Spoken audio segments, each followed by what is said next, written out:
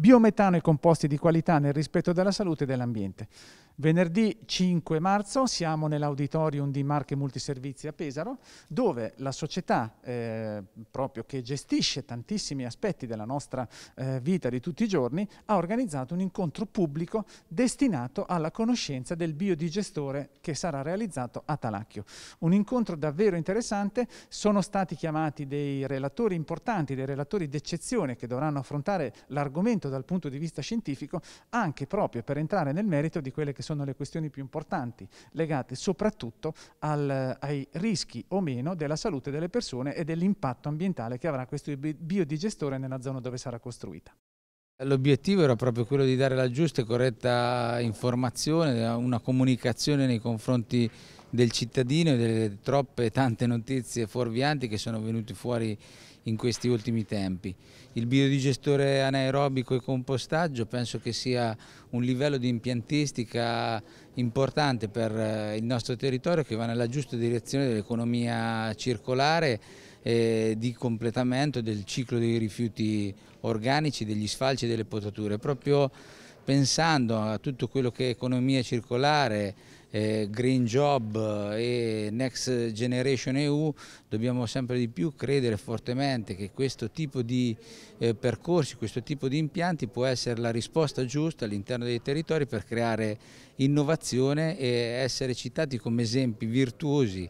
eh, all'interno dei processi e non andare sempre a portare degli esempi che vengono da territori lontani. Marche multiservizi, in questo caso Green Factory, vogliono dimostrare nei fatti quello che hanno sempre fatto, cioè mettere a sistema la qualità della vita e la qualità ambientale.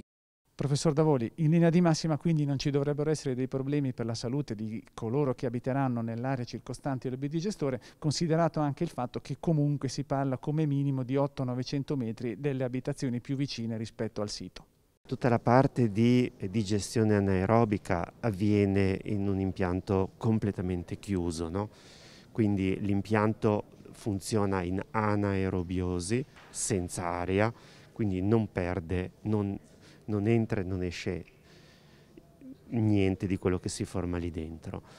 Fra l'altro questo impianto diminuisce l'inquinamento perché leva del, la, eh, lo zolfo, l'idrogeno solforato, che poi è uno dei responsabili delle formazioni dei cattivi odori.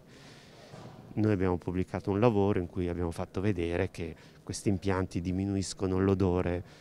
degli impianti di compostaggio che seguono. Amministratore delegato di Green Factory Mauro Tiviroli, il biodigestore sarà un impianto veramente importante, avrà un grande impatto da tanti punti di vista, oltre che quello ambientale, avrà un impatto molto importante anche dal punto di vista sociale, perché lei nella sua presentazione ha detto che saranno comunque impiegate almeno 40-50 persone nella costruzione e nella realizzazione dello stabilimento e poi una quindicina ci lavoreranno a tempo, mm, si può dire prolungato e indeterminato, per il suo mantenimento. Confermo, sicuramente ha un impatto occupazionale importante sia nella fase di realizzazione, infatti sono stimate 40-50 unità,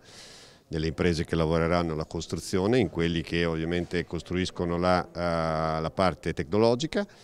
così come saranno necessarie 14-15 unità per la sua gestione, quindi avrà un impatto occupazionale che anche dal punto di vista sociale si va ad aggiungere a quello che secondo me è un contributo altrettanto significativo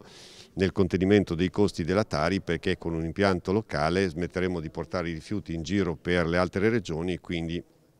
i cittadini potranno beneficiare di questo minor costo che si può essere stimato in circa un milione all'anno e quindi, come dico io, a me piacciono le moltiplicazioni, in dieci anni i cittadini della nostra provincia potranno risparmiare circa 10 milioni di minor costi nella Tari.